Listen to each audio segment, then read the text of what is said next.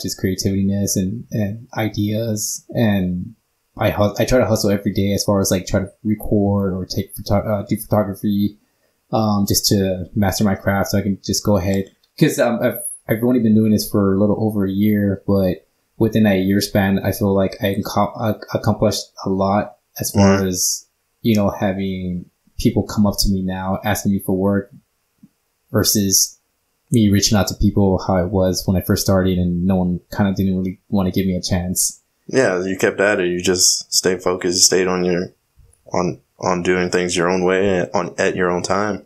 Yeah. It's just I know I know you like you have a completely full time job too as well. So it's not like this is the only thing you're doing. Yeah. Uh, it takes it takes a amount of discipline just to do something else besides what's already routine in your life, like going to work, going home, and then just doing the routines at home.